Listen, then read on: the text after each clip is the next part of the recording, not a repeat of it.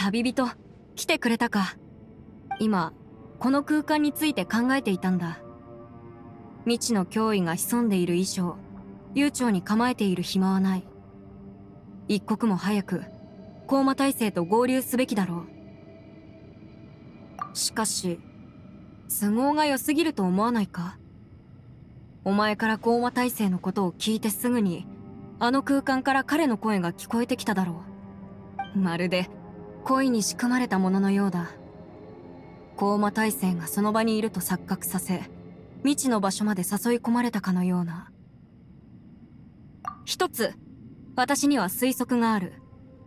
だがいきなりそれを皆に伝えては怖がらせてしまうだろう。先ほど見た高魔体制の反応から察するにおそらく彼は私たちと別の空間にいるはずだ。だがその声も姿も私たちのいる空間にまで届いた。もしかするとこの空間はもとより錯綜しているのではないだろうか。ここにいるはずのない人そして霊まで見えている。空腹を感じないのは体の状態が停滞しているのが原因だ。つまり私たちの時間が止まってしまっているということ。もしこの推測が正しければ私たちは非常に不合理な場所にいることになる。つまり様々な情報が一つの可能性を示している。この地下空間は時間と空間が錯綜しているということだ。しかしそのように錯綜した空間だからこそどこにいるのかわからない仲間の声を捉えることができた。実に不条理だな。もちろんこの空間がそれを私たちに聞かせたのであれば話は別だ。そして先ほど高魔体制の身に起こったことについて一つ考えがある。私たちは彼に会ったのではなく別の場所にいた彼の姿が何らかの空間の変化により伝わりそれを見たのではないだろうか。旅人先ほど門の中でアビスを見たと言っていたな。あの門は一見すると意地の悪いいたずらにしか見えない。あそこで私たちは怖いものを見せられただけだ。だがもしその中に入るよう誘導するものがあったら門の向こうに何があるのかは誰にも見当がつかない。最初は冗談のようないたずらで油断を誘い次に真の脅威によって覗いたものを捉える。この空間は手強い相手だ。私たちの思考を読んで手のひらで転がすように操っている。それでも私はただ黙って待っているつもりなどない。覚えているか？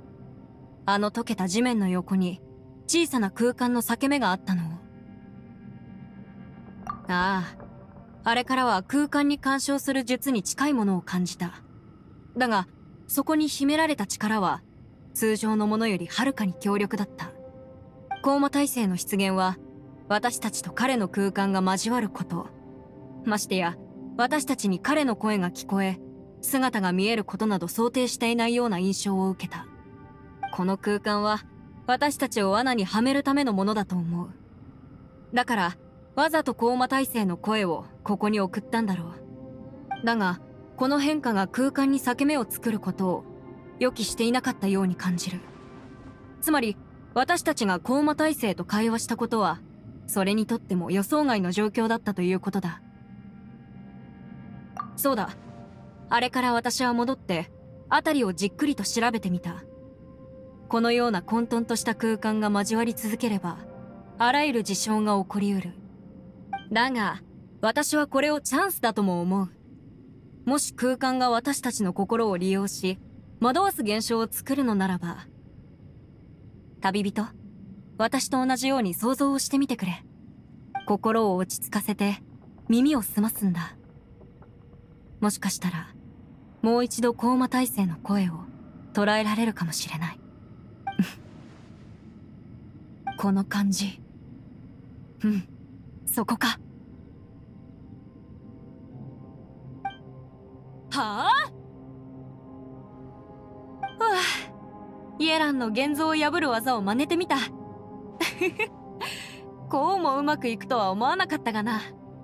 声はこの現像の奥から聞こえるようだ。入って確認してみよう。